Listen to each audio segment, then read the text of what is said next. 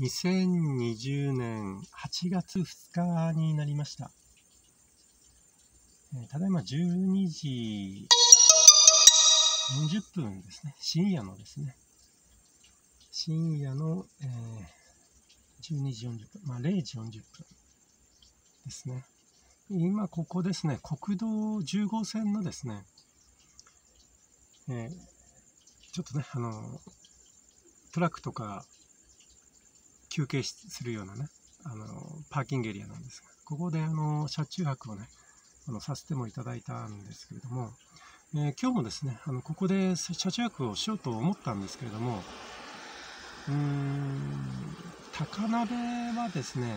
あの宮崎県高鍋なんですけども、高鍋は養豚が盛んのようですね。まあ、この近辺ですね、高輪だけではなく、あの隣町も、え養豚とかね、まあ、山の方で、えー、盛んなのかもわからないですね。で、前回ですね、ここで車中泊した時には、風向きでですね、えー、家畜の匂いがあのしませんでした。ただ今日ですね、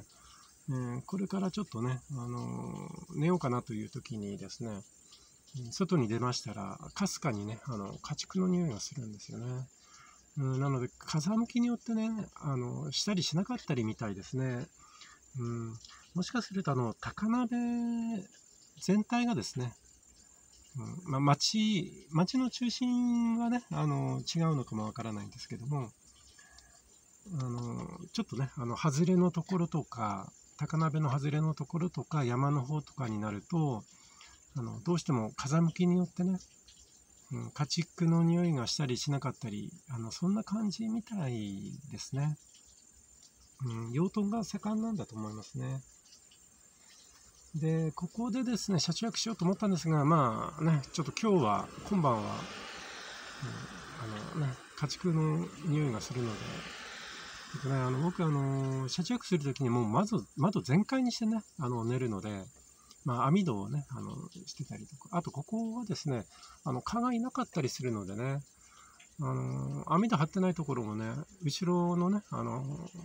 ドアっていうかね、あの、なんて言うんでしょうね、ハッチバックって、なんて言うんでしょうね、あの、天井までこうね、あの、上がるような。あそこもね、あの、ちょっと隙間開けたりね、してるんですけどね、それでも蚊がいないので、うん、その点はね、あの、車中泊しやすいところなんですけどね、交通量も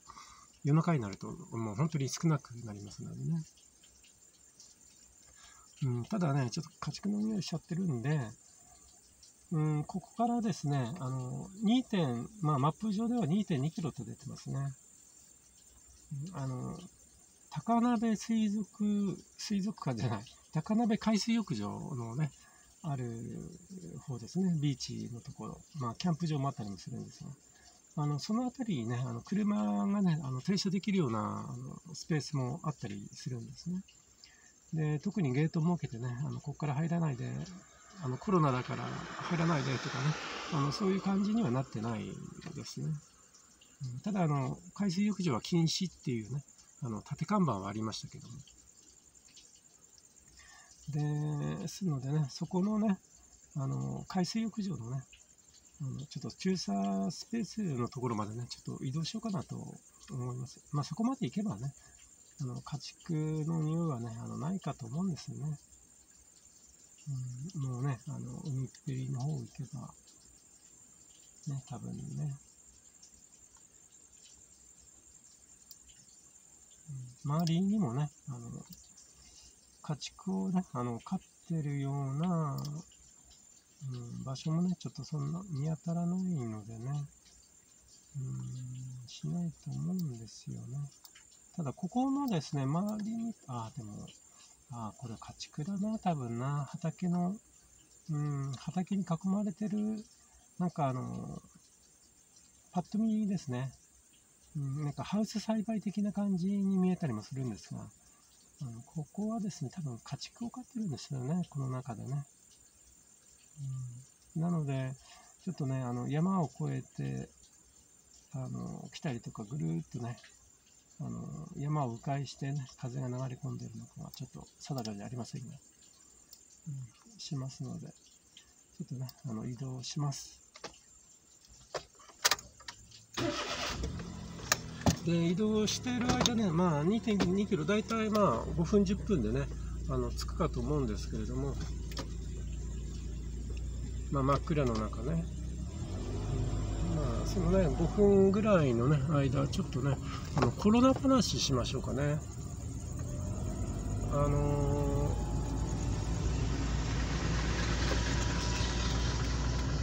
ー、岡山県のですね、あの田川の時もね、ちょっとコロナ話をしたんですけども、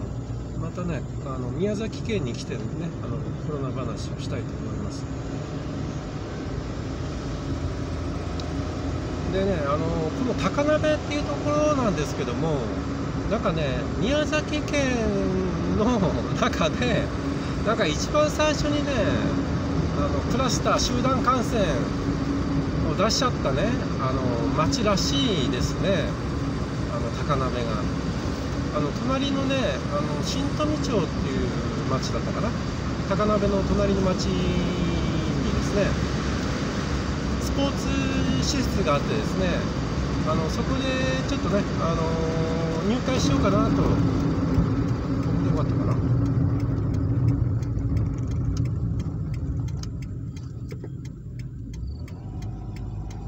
入会しようかなと思ってね、あの今日行ったんですね、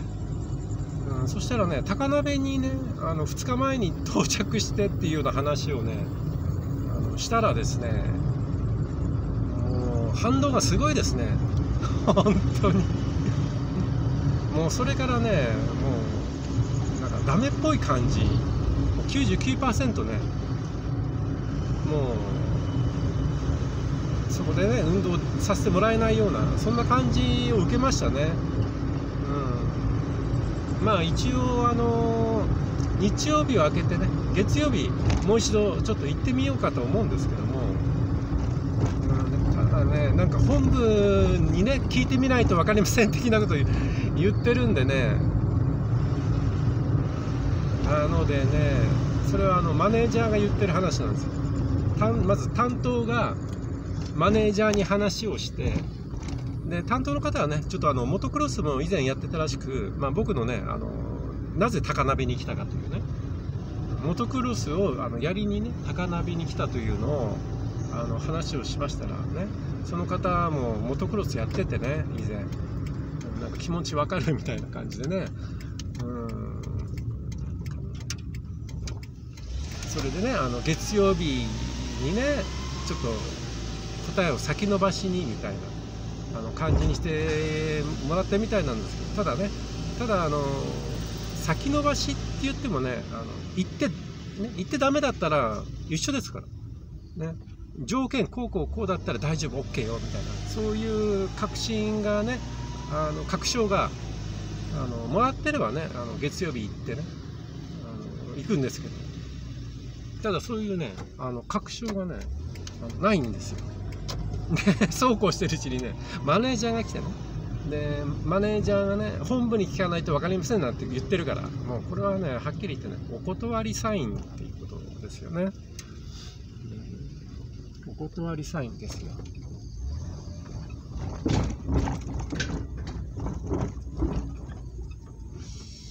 えー、っと、線路渡ったな。あれ？線路渡っちゃったな。ん？いいのか？あれ？今線路渡ったな。うん、今どこに来てるんだろうな。あ、いいのか？合ってるうん、合ってる。合ってますね。田口ビーチ、田口浜。ね、田口浜のね、この先に、うん、あのね、サーファー、サーファー、ね、の人がね、来てね、サーフィンやってますけど。まあ、その手前ですね。入るところがあるのでね、そこにね、ちょっときます。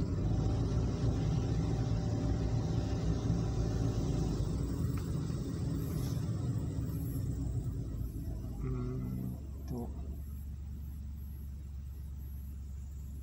あれ？突き当たっちゃったな。うん？こっち行ったらビーチ行っちゃうな。こっちだな。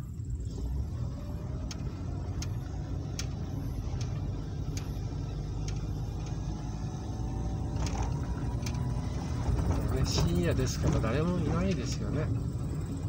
うん、この辺りですね、この辺りにね、トイレもあるんですね、ここのあの左側にトイレあってね、この右がね、なんかキャンプ場になってるみたいなんですけどね、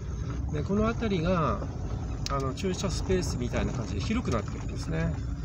なので、この辺りにね、ね広くなってますね、これはね。うん、で、この辺りに車止めてね、うん、ちょっとね、車中泊をね、させてもらいたいと思いますね。結構いいとこあるかな。うん、こっち、こっち、こっちかな。こっちでいいかな。うん、下がね、ちょっとね、凸凹しちゃってたりね、あの車高がきつかったりするんでね、車のいい感じのところに、あこんな感じかな。もうね、このね、前がね、もう海水浴場ですよ。遊泳禁止っていうね、この看板、遊泳禁止って書いてあるんですよ。小さくね、あの出てるけど。はい、それではね、えーこちらね、高鍋の海水浴場のね、まあ、駐車スペースですね、えーここをね、ちょっとね、車中泊にさせていただきます。はい、では、勝手に車中泊ポイントまででした。